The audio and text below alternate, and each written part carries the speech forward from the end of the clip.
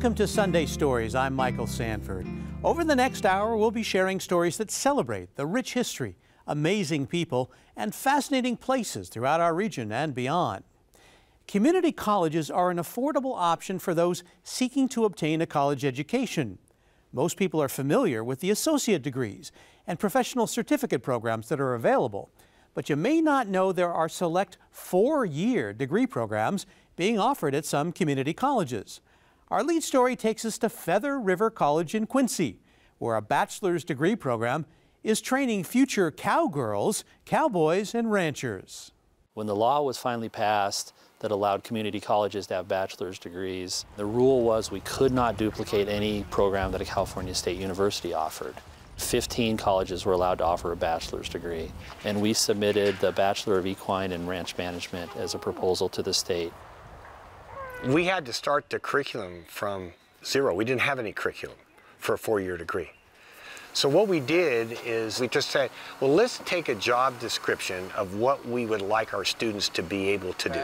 You had to know something about cattle and you had to know something about horses. The way the program was designed, the total cost would be under $10,000. That includes all four years. That's not per year, that's for all four years. I am getting, in my opinion, a better education, more up my alley, like with a lot more things that I'm interested in for a small, small fraction of the cost. The specialized bachelor's degree offered at Feather River College, later on Sunday Stories. The Marine Mammal Center in Sausalito cares for about 600 distressed marine mammals every year, rescuing and rehabilitating them. We'll join Rob Stewart as he visits the center to see the work being done. Each of these animals has been rescued? Yeah, each one of these animals has been ill or injured for some reason along the 600 miles of coastline that we respond to. So we send out our volunteers, we rescue them, we bring them up here to Sausalito, we provide them the best veterinary care that they can get, we collect samples, uh, we provide, we do research and, and try to better understand what's wrong with them, the diseases they have, and really the problems that are causing them to come here. We're open almost every day of the year from 10 to 5, and anyone can come here. It's free to um, all visitors, and they can come here and, and watch us taking care of the animals. More of Rob's visit to the Marine Mammal Center later on Sunday Stories. We'll head to El Dorado for a stop at Poor Red's Barbecue and meet the trio of entrepreneurs who brought the historic tavern, famous for its Golden Cadillac cocktail and barbecue, back to life. Brothers Mike and Jeff Genovese and restaurateur Mike Countullis are the trio behind resurrecting Poor Reds, a popular local watering hole rich with history dating back to gold rush days. My brother and my objective from day one, though, was if we're going to do it, we're going to do it right, and we're going to fix this place for the next 50 years.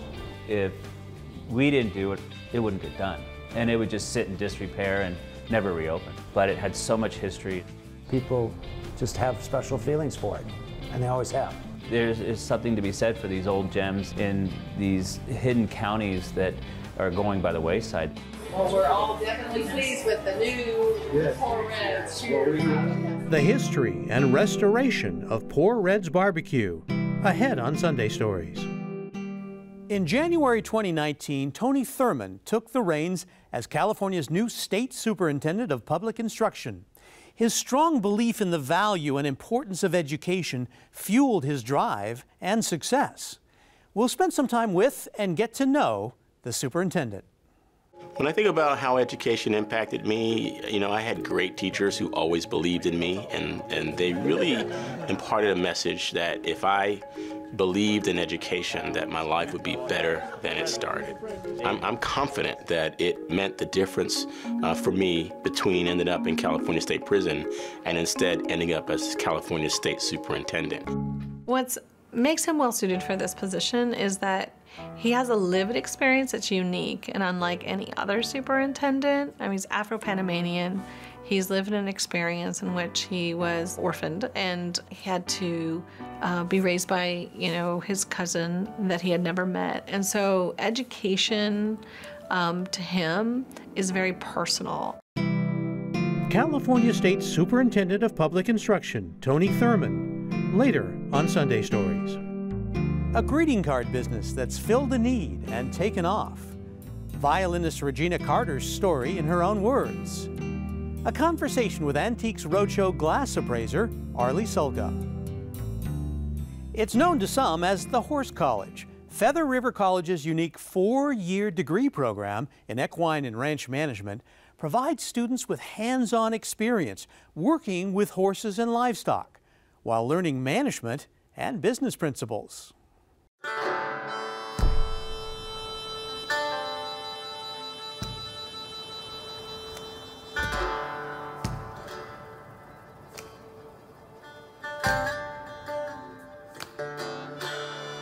You're in beautiful Quincy, California. It's in Plumas County. It's northeastern California. Feather River College has been here since 1968.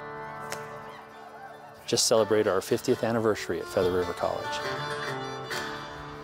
We have a very strong reputation as the as the horse college. We joke and say it's the you ever seen a horse that's been to college? When the law was finally passed that allowed community colleges to have bachelor's degrees. The rule was we could not duplicate any program that a California State University offered. 15 colleges were allowed to offer a bachelor's degree, and we submitted the Bachelor of Equine and Ranch Management as a proposal to the state. We had to start the curriculum from zero. We didn't have any curriculum for a four-year degree. So what we did is we just said, well, let's take a job description of what we would like our students to be able to do. You had to know something about cattle and you had to know something about horses. I originally wanted to go to Cal Poly in San Luis Obispo, but they didn't have really any majors that I was interested in. And after doing research and FRC kept popping up and I clicked on it, they had a big flyer announcing that they were awarded the ability to offer their new bachelor degree program starting in 2016, which is when I was heading off to college. So I came and checked out the college and looked at the town and everything fell into place from there. So today we'll uh, go ahead and we'll process the calves that we have. We have 25 calves to process. My name is J.P. Tanner. I am the beef professor for Feather River College. Okay. Any questions? Now that we're, we're dialing in on careers, um, once they get to their junior and senior year, we want to make sure that they are dialed into their area that they want to have a career in long term. So like at those points as I'm just getting all this into All here, I don't have into to worry. It's changed the way I teach as an instructor because now I need to be more in depth in, in my courses. They have classes on packing. They have classes like working with cows and they have classes where you're riding and that was all very new to me. In the last year, I jumped more to the cow side of things. The skin and the same. Yeah. Horses will always be in my life, but they will be in my life as a hobby. And I'm very interested in cows and the production and maintenance and management of cattle. And honestly, I love anything with cows. We could just bring these three. Yeah, I want to become a ranch manager, but after school I'm going to go start working on a ranch and working my way up. I'm from Bend, Oregon. Uh, I was born on a farm and I came here to play baseball and then I was just planning on doing the two-year associate's degree. And then I finally realized that they're offering a four-year program in ranch management and that's something I want to do. So decided that that's what I want to do. The biggest question that, that, that's probably asked me by parents, by students when they come here is, okay, what can my son or daughter do if they go here? And what, what can they do if they are here for two years and what can they do for four years? And of course, my standard response back to that, well, depends upon the student. We had a graduate last year who got hired up by Ted Turner's ranch in Montana. He's the largest landowner in Montana and has one of the largest ranches in the United States, so he's a manager up there. We've had students open up horse therapy programs. One has a riding program for severe mental or brain injuries. Uh, there's other ones that have been doing agricultural lending. We've had people work with beef cattle. We actually have graduates that are doing training programs for horses, how to train horses as well. Throughout the country, many community colleges have begun to offer bachelor's degrees, so this is something new for California.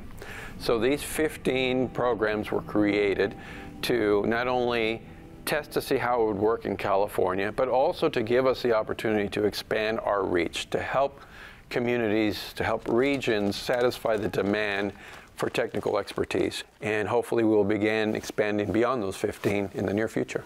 Yes, huh, kids? Huh, kids? Huh. Well, I'm from Brentwood, California. I've never been a big city person, and I've always loved the mountains, and it just was the combination of horses and mountains, and it was just felt right to me.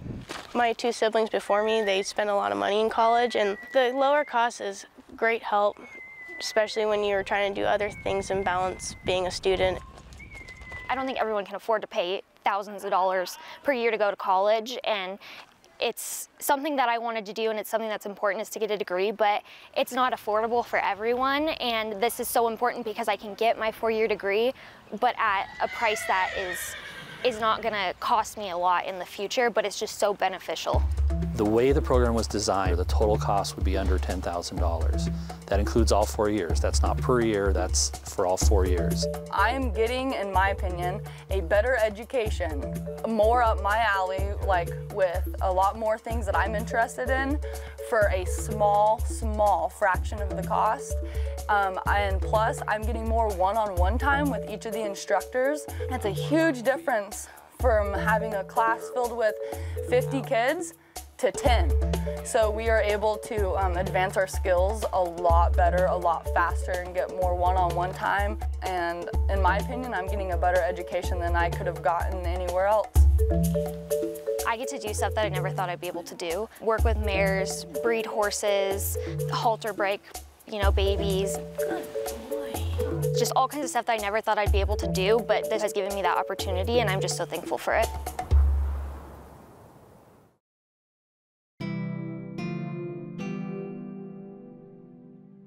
Later, a look at the work being done at the Marine Mammal Center. But first, an entrepreneurial success story. When Gregory Perkins opened his small shop in Sacramento in 1991, he was filling a need that wasn't being met by the major greeting card companies. African American Expressions has since grown to be a multi million dollar operation that's expanded to include over 700 products that, as Gregory says, beautify the African American experience. So I grew up in Niagara Falls, New York, born and raised, and uh, it was uh, about 19 years old. My brother was out in California. My dad asked me if I would like to come out and visit them for, for you know, Christmas. So I came out for Christmas with a plan. It was a two-way ticket, but I only used one, one part of it. I just felt that I was created for more. So I came out with $300 in my pocket, just looking for opportunity. Didn't know where they would take me, but I was determined to make it. Yeah, I, I think I think we've done quite well.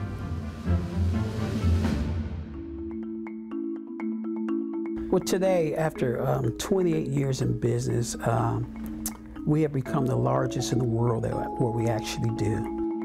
I like to think that anything that you see in a Hallmark store, we're the black Hallmark now. We create Christmas cards, calendars, planners, figurines. We beautify the African American experience. How can you not love that? Especially if you're African American. We felt that Hallmark was missing the point. The African American community cards that didn't look like us. They were actually Caucasian images painted brown and they were serving to the African American community. And we said, no, we, that's not us. We feel that we could do that better. We could do imagery of ourselves in the way we speak for us, by us. And so that was what fueled me to move this thing forward. This is actually one of our first cards we ever printed. And it just brings me back to remember how starting in my home, working out of my garage, I actually get a little emotional when I look at this. Reminds me of the, the 28 years of hard work. It just brings joy to my soul. Never have I thought it would be as big as it is today. Today, we're housed in a 42,000 square foot facility. We have over 700 products now. And so we manufacture those offshore, we bring them in, and we sell them to stores all around the world.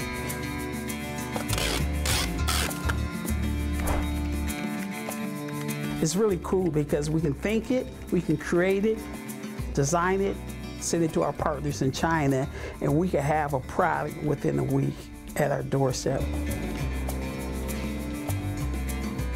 I attribute uh, 100% of what I do in business to my faith. And so we were involved in the homeless ministry downtown where we, we leased out an 8,000 square foot facility to feed the homeless. And um, out of that, we, we said, let's do something a little more. I had a project that I needed done, and uh, I said, why don't we hire? So we hired eight homeless people. Out of that, hiring eight people, we have one that's stuck. He's not only working, but he's the lead guy in the warehouse. Oh, it changed my life. And like Greg always told me, you're not homeless, you're just in transition. So that transition from homeless to getting a job, getting married, and buying a house, as, and I'm here now, I'm a changed man. It impacted me so much. Stuffed them. So that's what's gonna go to Essence, right? Essence. Okay, good. To see myself in this position now, I couldn't even think about it. We're gonna wrap this up. Let's get then- out. Let's and get then out. we can schedule that. We're still on time, right? Schedule Yes, we are. wise? We are on schedule. It's all about taking a team, empowering your team, and letting them do what they do best. So definitely going out today. Definitely going out today. Greg has that insight to see through people. He sees what's inside you, and he will do everything to bring that out in you. Let's get it done. And then we're done. Beautiful. The impact that he has on people through his cards and everything, it's, I've never seen it before. Never. His heart is filled with love.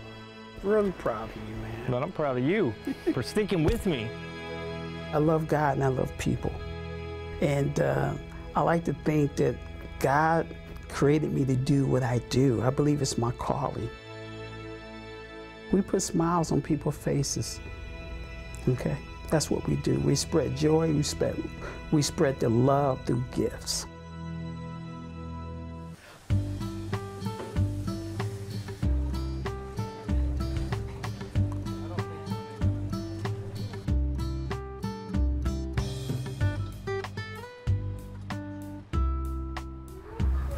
Dr. Shawn Johnson is the Director of Veterinary Medicine here at the Marine Mammal Center. Good to see you. Nice to meet you, Rob, and really appreciate you coming by and visiting the Marine Mammal Center. I'm so glad to be here. What a pleasure to showcase the science that happens here.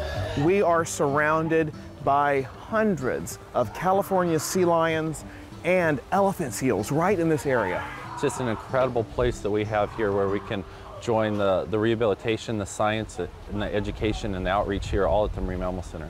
Each of these animals has been rescued. Yeah, each one of these animals has been ill or injured for some reason along the 600 miles of coastline that we respond to.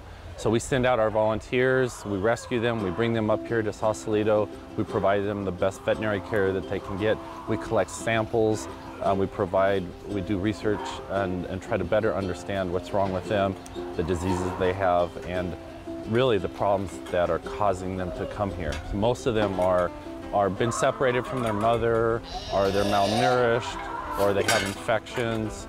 Um, some of them have cancer, some of them been exposed to biotoxins that cause seizures. So right here we have a group of sea lions and the, the volunteers are trying to identify a specific animal to, to probably give them their medication for the day. And you can see they all look very similar, but they all have flipper tags on and some of them have grease markers on their head. You mentioned cancer, you mentioned seizures. A lot of these illnesses are illnesses that we as humans face. Is that where the research component comes in? Yes, I'm, um, besides doing marine mammal rehab here, we have a really strong research department where we're trying to better understand the diseases these animals have because some of them, as you say, are directly linked to human health. It's uh, really great that we have the resources and the interest to, you know, the volunteers to, to provide the help that these animals need, but also to learn more about the individual animals, the populations of animals, and the ocean that they live in.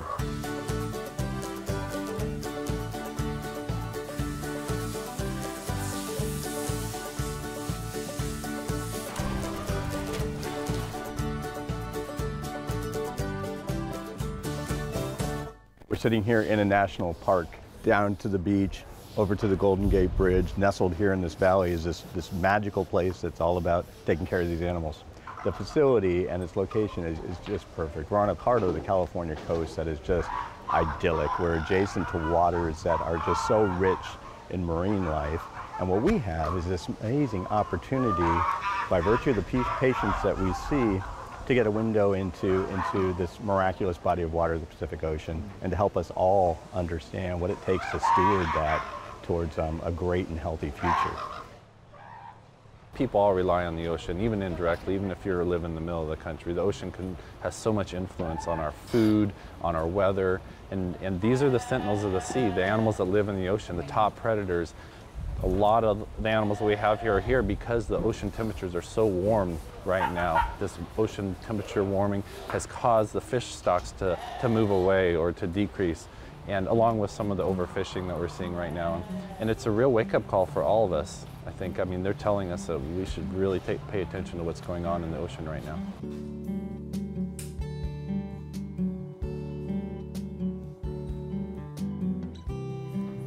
So, Cara, you can keep working while we jump in here, but this little fella's a month old? Yes, he's about a month, uh, probably or so, based on his teeth. They're just, they've just recently erupted, so they're still quite small. And you put him to sleep? Yep, he's under anesthesia. And this is the same anesthesia that was developed in humans for infants originally. So it's a very safe, it's, uh, it's still used commonly in both veterinary and, and human hospitals today. His little flipper yeah. has to hurt. Most definitely. So this is a really swollen little flipper that we're dealing with here. He had a very large abscess here. What we had to do is make an incision here to allow some of that fluid and that pus to drain out. So he's on good strong antibiotics and pain meds, but the best we can do is get this all flushed out to uh, promote his healing. What is the ultimate goal, the end result for this um, little fella? Ideally, if this infection will clear up, he should be able to have full use of this flipper. Right now it's a little compromised because it's definitely very inflamed and, and painful. Um, but he does still use it, he does still move it around. But we want to make sure that there's no bony infection that develops. They've got a lot of bones in here. In fact, their flipper is very much like our hand. Mm. Um, so there's all those little fine bones in there. So if those get infected, then he would have to lose the flipper potentially if we can't cure it with antibiotics. Will you release him back into the wild? Yes, we think if we can get this cleared up that he would be able to be released.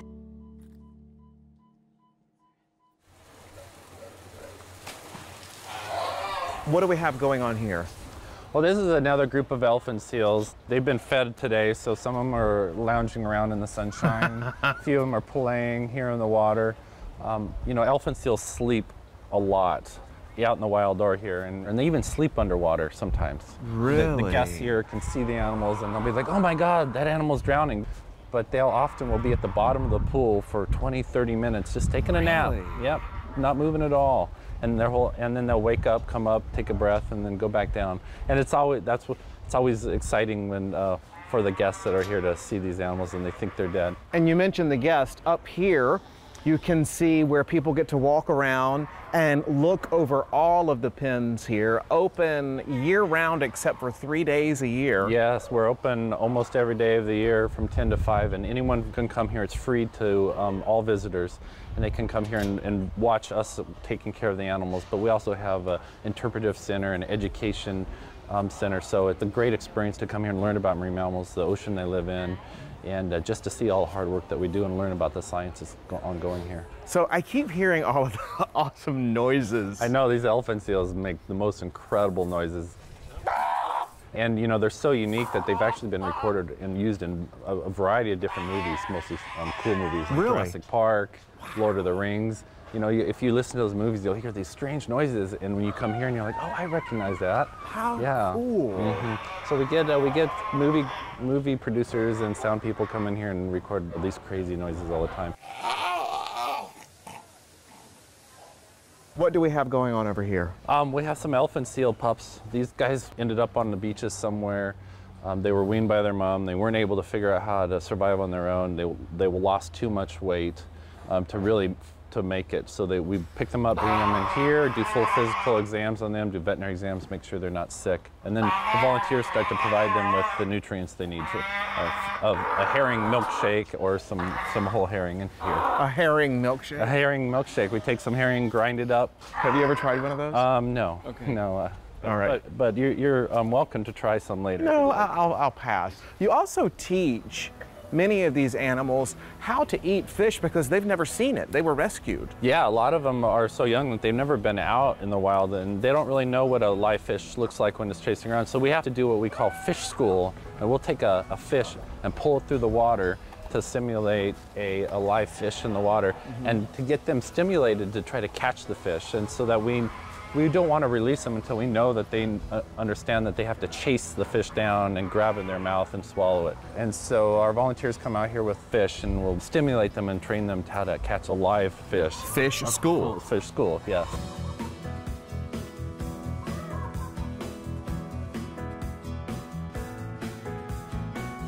Some of them are free feeding and some of them haven't started eating consistently on their own yet. The volunteers are, are trying to separate the ones that are more aggressively eating from the ones that are having a hard time so they can give them more time to, to, to learn how to eat and start eating on their own.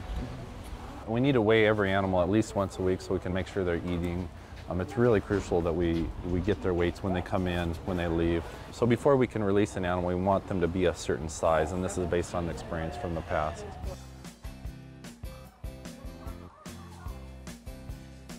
These elephant seals behind us, it amazes me that these will become the full-grown elephant seals like we've seen when we took the show to Año Nuevo State Park. They are huge. Exactly. The, the males can get up to 5,000 pounds. Thousand, but, uh, yeah. Elephant seal pup on its birthday is 85 pounds or so, and within three to four weeks, it will gain weight to be 250 pounds. And then mom's investment in that pup is done. She leaves the beach and they're on their own. This group that comes into our care, they're underweight, they're malnourished, and then our job is to be a surrogate mom, to get them the nutrition they need, to get them up into a robust body condition and mature enough to be able to then leave our facility, get back out into the Pacific Ocean and fend for themselves. These animals are set for release? Yeah, so we have some sea lions here They've been here a few weeks and you can see they've gained some weight and they look happy and healthy. Boy, they do. Yeah, they do. They look good. And um, compared to when they first come in, they've more than doubled their weight since they've been here. These animals are getting exams and will probably be released here in, uh, today, I believe. Oh, they are ready to go. They are. It They're works. I know, it's so much fun to see them at this stage when we're ready to take them back down to the beach. Raya, you've been volunteering for 11 years with yes, the Marine. Mammal Center. Absolutely. Today is the day. Right. For these guys, this is their trip home. What are we going to see? So we are going to see five harbor seals, four sea lions, and three elephant seals. You have driven about an hour and a half down from Sausalito here to Chimney Rock at Point Reyes National Seashore for the reunion day. Yes. Just look where they're going. I mean, we are set up for them to go home. Right. And this is a wonderful beach for them because it's gated and the animals get to rest here and the public does not come down onto the beach. And right now it's molting time and many of them look a bit scruffy, but this is a natural process. They spend about a month here molting.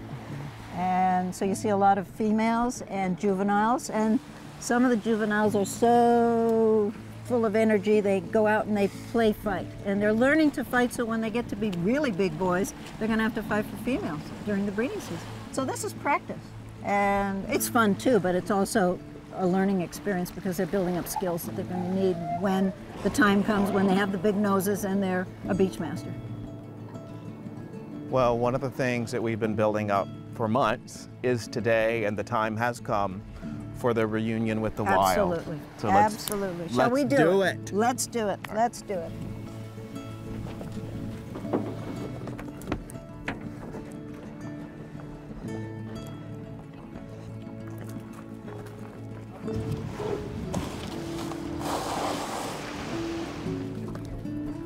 Hi, baby. Let's go back home.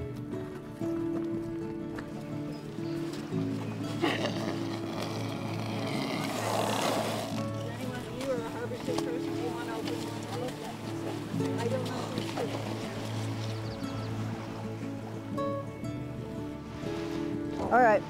So we're going to do one, two, three, and then we're going to press, okay? One, two, three. Go.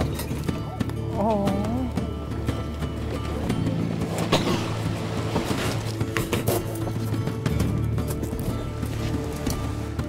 Bye-bye. Yours is just a little scared. It's okay. Are they scared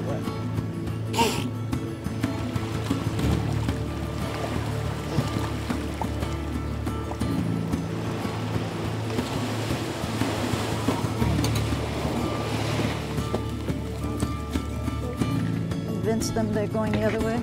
That's all they have to do.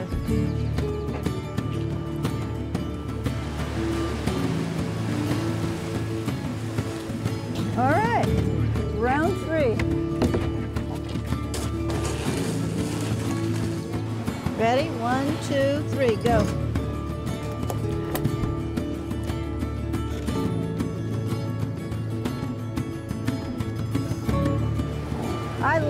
Because I hope that the older ones will teach the youngsters and show them the ropes.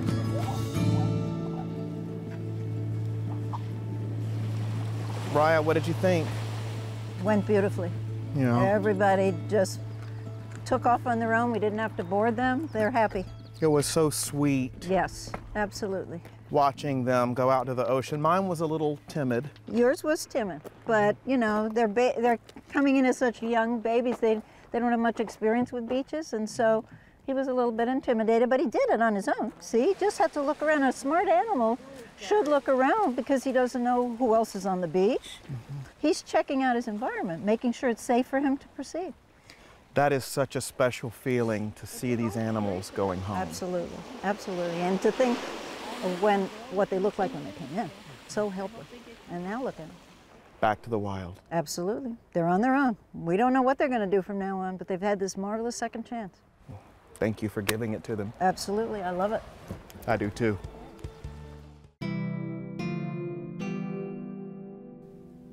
Later, California State Superintendent Tony Thurmond's story. After closing its doors in 2014, Poor Red's was resurrected in 2016. Following an expansion and upgrades, it still manages to retain the same vibe it's been known for for decades.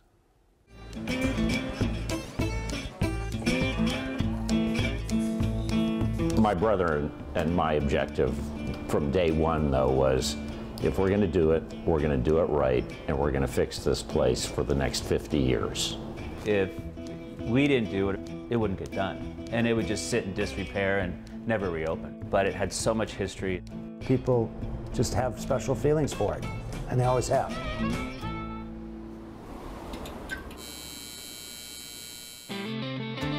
Brothers Mike and Jeff Genovese and restaurateur Mike Countullis are the trio behind resurrecting Poor Red's, a popular local watering hole rich with history dating back to Gold Rush days.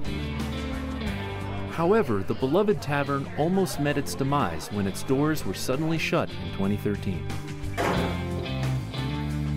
We pulled in, and a guy next door, old guy, crusty, big white beard, goes, It's closed. Poor Red's shut down after its previous owners experienced serious legal problems. I was in foreclosure, found out that it was for sale basically, and it had almost 40 liens on the property. Nobody wanted to touch it. It was a nightmare and a quagmire. I said, okay, if we can buy it, we need a guy, an expert to run it, and we found him. Do you have any special today? Yeah, we're gonna do the sausage sandwich today. Mike grew up in a family of successful restaurateurs and already had experience reviving the Purple Place, another historic local tavern. But convincing him wasn't easy. There's no way we could have reincarnated Poor Red's without him. Time and time again, he's going, You don't understand what a stupid idea this is. It didn't pencil out. You know, for an 1850s building with some add-ons that had to be all torn down and rebuilt, it's tough to make it in this industry. So we kind of went round and round. I think there were some choice words, he called my manhood into question and said, "Let's just do it." uh, and you know, they're great partners that way. Despite the odds, the three of them were able to return Poor Red's to its former glory. It's a living piece of Gold Rush history. Poor Red's has always been a gathering spot in the small town of El Dorado. The iconic stone building was built in 1856 as a Wells Fargo way station. In 1927, it became a local bar named Kelly's. 18 years later, a man known as Poor Red won the bar in a game of dice. He and his wife, known as Rich Opal, ran it through the 1960s. Even before they reopened Poor Red's in 2016, Mike and Jeff promised to retain the charm and character of the place. So we knew if we could get it back on its feet the right way, keep the historical aspect like we did, mix in the new that we needed to do, that it could work. Let's put it this way, there was more to it than I thought. We used local contractors for the whole job, and that's what also made the place special because all those folks knew the place, mm-hmm. and they put love and care into redoing the place as well. So a lot of credit all the way around there. We figured out a few things like the extra dining room that we have over here. Then the patio, tear down the barn and put a patio in. That was another thing we needed to do. One of the things that we agreed upon early on was that we're going to have good food. Mike found Dean Hyatt, our chef, and he's done a great job in the kitchen, and the food here is spectacular. You got it? Blending the old and the new proved to be a winning combination. Of course, preserving the tavern's history meant keeping the legendary drink that put Poor Red's on the map the Gold Cadillac, a blend of Galliano, creme de cacao, cream, and ice.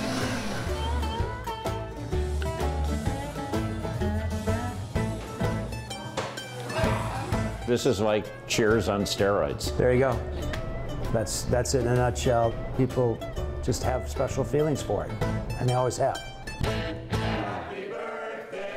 People like Marlene Edwards, who's been coming to Poor Red's since she was 25.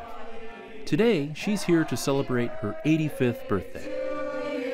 But it's just a great place to come, get together with friends. It's just, it's just a fun place to go. So these are our dollar coins for Red tradition. The nice thing about the bar is you walk into the bar any time of the day, you'll see a guy like me sitting there, next to a guy in a suit and tie, next to a guy in t-shirts and flip-flops. It could be anybody in here, and they're all talking to one another. That's the great thing about the bar. The high-low bar is people talk across the bar to one another. Whose bachelor party is it? It's mine. There's no other place in this area like that. No, no other bar around. Do you know anything other place around like that? Well, we're all definitely pleased with the new Poor Red's. This was a kind of a crazy thing to do. You know, th this has been a lot of fun. There's something to be said for these old gems in these hidden counties that are going by the wayside. It's been a blast. I, I love coming here. I love being part of it. And what I like most about it is people that come up to me and talk about the place are very appreciative of what we've done. And that makes me feel really good about where we're at with this.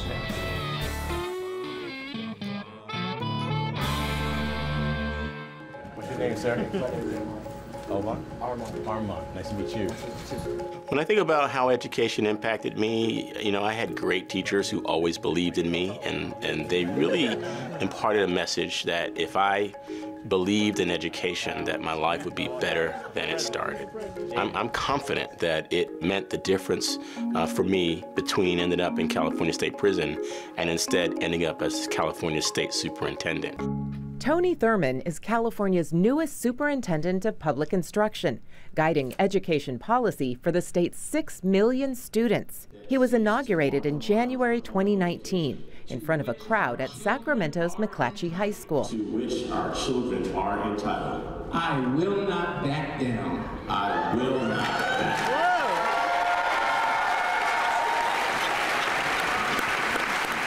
down. California is immensely lucky to have a talented, committed, and savvy leader like Tony Thurmond leading the Department of Education and fighting for our youth. Welcome to Sacramento. Welcome to everybody.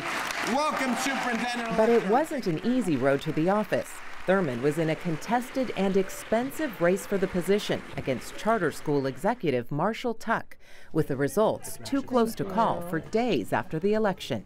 My campaign for state superintendent was certainly the toughest race that I've had in politics, and I've always had tough races, um, but I never lost faith. I always believed that if you put forward what your vision is for helping young people, that everything will work out the way it's supposed to. What makes him well suited for this position is that he has a lived experience that's unique and unlike any other superintendent. I mean, he's Afro-Panamanian. He's lived an experience in which he was orphaned and he had to uh, be raised by, you know, his cousin that he had never met. And so education um, to him is very personal. My cousin raised me and she kept me out of the streets and she kept me out of trouble. And she always made sure that we had the best education that we could possibly get. My mom was real sick, and my mom had cancer. And when I was six years old, my mom lost her battle to cancer, and my dad was not in the picture, so I ended up growing up in Philadelphia. Thurmond graduated from Temple University in Philadelphia before returning to the Bay Area, where he became a social worker. That led to seats on the Richmond City Council and School Board, then the State Assembly, and finally, State Superintendent. I've been very fortunate um, to be in a position to work with young people to help them get a second chance, to help them get strong after school programs and mentoring programs. It's my mission um, to serve young people. Today, Thurmond is meeting with students at Valley High School in Sacramento, involved with a program called Improve Your Tomorrow. Uh, so I showed up for the food, and, but then I started to really understand the mission of the program, and that was to get young men of color to and through college. Over the next four years, Thurmond says he wants to focus on those students who are often too easily overlooked. He also wants to reform school budgets at a time when school districts like Sacramento are facing a budget crisis and teachers are striking in cities across the state. California still is 41st in the nation in per pupil spending, even though California is the fifth wealthiest economy in the world. Uh, we have to change that. And we always say that the kids are our future. We have to act like it. And my top priority is increasing revenue for our schools, closing our achievement gap, closing our teacher shortage. Uh, how do you learn when you don't have a well-trained and qualified teacher at the head of every class? These reforms are more than Thurmond's political platform. They're also personal.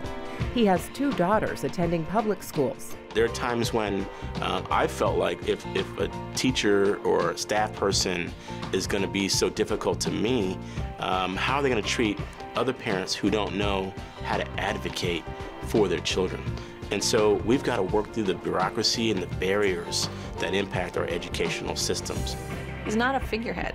He's actually boots on the ground and he's rolling up his sleeves and he knows what's happening at the department and he wants to be helpful personally. At the end of his term, Thurmond says he hopes to increase the state's per pupil spending, putting the state on a trajectory to someday be the first in the nation. I think there's so much more that we can do in this state, and I'm excited that the voters have given me the opportunity to do it.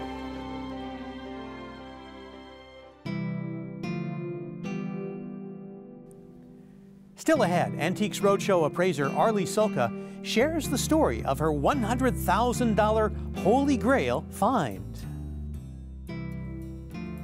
But first, world-renowned violinist Regina Carter shares her story, her love of the violin, and how family history and culture shapes her music.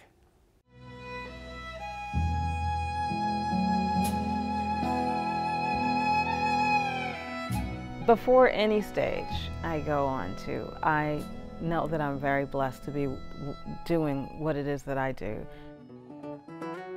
Music and education were always really important in my household.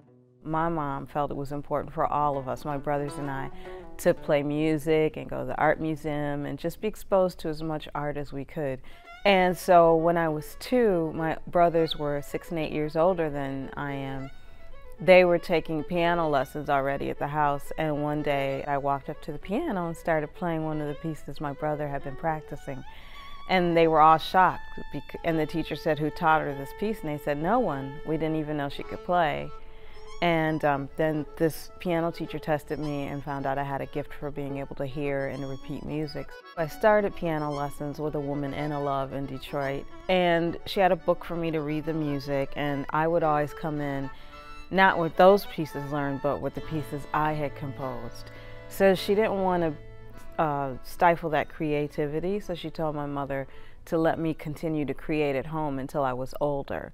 I always remember my poor father because he didn't have a musical bone in his body, and we'd sit at the piano, and he'd by accident play a chord that like excited me, and then I'd be like, "Play that again," and he had no clue what he had done. His hands just acted, and I would get mad at him because he couldn't, in my mind, you know what you just played. and then when I was four, the Suzuki method was offered for strings for the first time in Detroit. And that's a method where they teach young children to play the same way we learn to speak at home by imitation. And I loved, I just fell in love with the violin. It's just something I loved to do growing up in the 60s. Music was just a part of everyone's life at home. It wasn't about trying to be a, a professional musician. It was just you sang, you played. It was a way for families and communities to come together. I've always been curious about my ancestors uh, from childhood. You know, I see certain programs on history channels or public television, and to see what they would go through as they were becoming an adult, maybe some of the um, their their their clothing that they would wear, their jewelry, just all the dances, the music, and I felt like there was such a huge community, and I wanted that as an African American, or I wanted to know what was that. So, after receiving the MacArthur um, Award, then that gave me the time and the money and the space to take some time off and to really start to delve in and do some research into my background. I'm like a kid in a candy shop. I love all kinds of music from all over the planet. And I think a lot of that has to do with growing up in Detroit and because there were so many cultures. One thing I always notice is that strings, violins, or something that violin is related to seem to always be present in all of these different musics from around the world. And just to hear how they were played in a very different way than the Western violin, but my ear always picked up on that and I thought it was beautiful. So since my very first record, on Atlantic, every record has kind of been different and all over the map. And people are used to that now, thank goodness. They know that I'm not just running after something, but I'm, I love all the different flavors. So I just wanted to share this beautiful, this, these beautiful sounds that I found at the same time trying to find out more about myself and my ancestry. And what I think the most interesting thing when we play concerts, sometimes afterwards people will say to me, oh, you know, I, I found out my grandfather also was a coal miner in this area. And then they'll ask me, did you know about this information or did you read this article or I'll give them a name of a book to read or they'll give me. So we're, we're sharing information and it gets people really interested in going back and checking out their ancestry and their family. And then for others, it brings up memories that maybe they had forgotten. I think that's really important for us to know from where we come because I really don't believe you can go forward unless you know that. Some people disagree with me. But I think also when people start to dig into their backgrounds, they see how much all of us really have had similar experiences and how much we are connected, whether we want to be or not. I'm flattered by that when people say that, but that's not why I do what I do.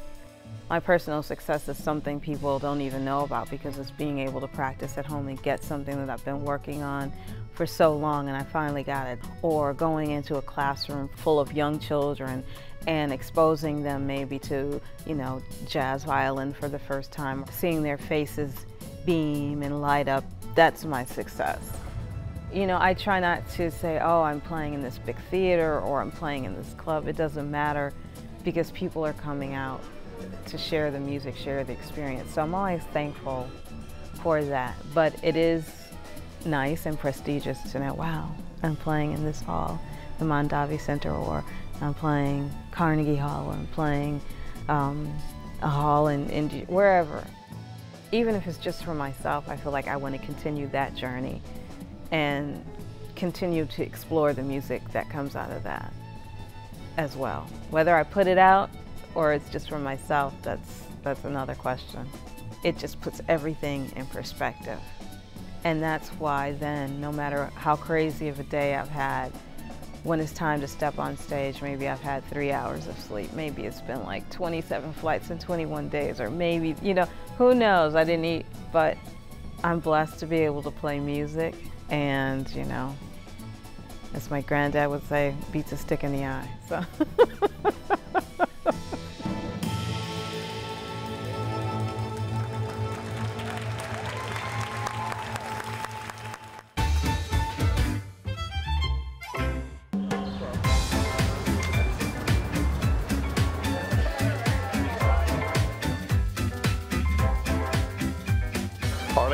Uh, a praiser with Antique Roadshow and have been for more than 20 years. Good to see you. Good to see you too. And welcome to Sacramento. Thank you. It's wonderful to be here. This is my first time. Oh, nice. So there are a lot of people in Sacramento with wonderful items. Are you expecting anything in this region? I'm always a little nervous about glass because when you come to this part of the country, because I worry that people are a little more reluctant to retain it or to collect it because there are, have been some things known as earthquakes here. But I have to tell you, I have no idea what's coming in. You never do. Never. Oh, never. No, it's always every, one show to the next. I wish for certain things the night before, I can promise you that. And I probably could wish for them for decades, by the way, which I did for two decades. I waited for something to come in Did it? that finally came in in Newport, Rhode Island. Oh, and what was it? It was a piece of Tiffany lava glass. Very rare, very special, very esoteric, and some people have told me it was a little ugly. Wow. But it was a, at the top of the collecting heap for Tiffany glass collectors. This practically stopped my heart when I saw it in the box. This is the piece I was waiting for for 20 years. Oh, wow. And it's extremely special. It is meant to look like molten lava on the surface of the vase. An example like this in a retail shop could sell between 100 and $150,000. Where's my brother? wow. So you take the items that you think are worthy to be on the show and you go and pitch it. Exactly, and not in front of the guest. And usually when a guest brings me something and I think it's TV worthy, I don't tell them anything about it. I just say, you know, this is kind of interesting. Um, I'd like to pitch it for TV. Do you have a few hours? Because it might take a while. The process can be long. Um, would you be interested in going on TV? And um, most people say yes. The poker face is for the person who owns it? Absolutely. Okay, po- I oh, see. no, no, you have no idea what happens when, when I pitch it to Marsha. You're like, "Guess what I There's like- got?" I have to go, I have to be hidden because sometimes it's called jumping up and down. uh, no, there are times, or, or one, as I said, one time um, when the piece came in in Rhode Island and I had to go over to the, the uh, volunteer who was wearing the headset for, to call over the producer, I said, tell them that Arlie has found the Holy Grail. I love that. I was just, you know, and, and, and then I went very calmly back to my seat. and I said, uh, the producer will be over in a little while. Uh, let, me, let me seat you over here. And the other thing that we do, and this is very important, all of the appraisers tell the guests to cover up their items. Oh. Because sometimes we have people who also want to be appraisers who are not appraisers, and they'll go, oh, that's a piece of Tiffany, you know, and then it spoils it. That's interesting. So once you've found that item that you know you want to be on the show, it's it's pause. We're going to do this and we're going to unveil it real, which is real TV. Exactly. That's fast. Show me your poker face. Oh, that's good. Show me your Holy Grail face. Actually, it's really important too that you get excited when you're pitching something because if you're not excited when you're pitching something and you go, well, I guess I could go on TV with this, you're not going to go on TV. I can tell you that. What are the the signs that you know you're onto something valuable? Uh, usually I recognize it immediately. That, that's, the, that's the beginning. Uh, but also, it's, in, it's always interesting to listen to the guest stories uh, because information gets handed down from generation to generation, and sometimes it gets enhanced. and ultimately, what we do as appraisers is we just look at the object. How are you? I'm good. How are you? How did you get the piece? Um, I befriended a little old neighbor lady back in the 70s, and she gave it to me. It's what we call Bristol glass. Bristol? Yes. So in its condition, probably worth about $75. You do all of this, in fact, all of the appraisers do, for free. That's true. In fact, flight expenses and all, you do all of that. We do, absolutely. And, and you know, it's a great way to give back to public television. I really feel good about it. Uh, and, and plus, you know, our mission is to educate people. That's what public television does. And we're here to do that. And it feels good to do that. And that's one of the reasons why we all participate. Oh, I love that. Well, then let's end on a good note. Okay. Thank you so You're much. very welcome. What a pleasure to talk to you. Thank you. And That was good lovely. luck with all the appraisals. Thank you. I hope there are lots of them.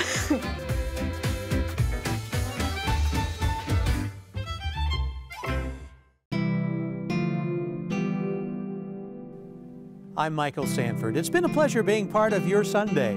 We hope you've enjoyed today's stories and that you'll be back next time for another episode of Sunday Stories. Until then, have a great week.